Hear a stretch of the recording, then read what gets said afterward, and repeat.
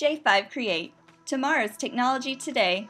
Looking for an easy way to add a second monitor?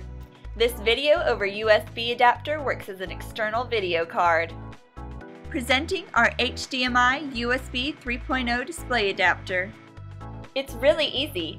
Simply attach your preferred adapter to the monitor, then connect the USB to your computer.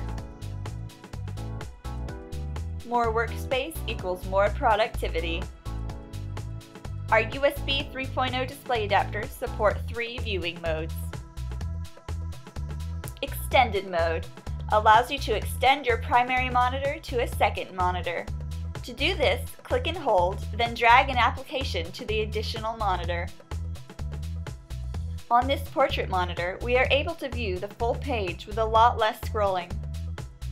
Our USB 3.0 supports full 1080p definition at a resolution of 2048 by 1152, making them ideal for high-definition video streaming. Mirror mode. Replicate screens to show the same display.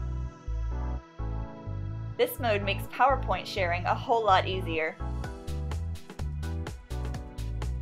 Primary mode.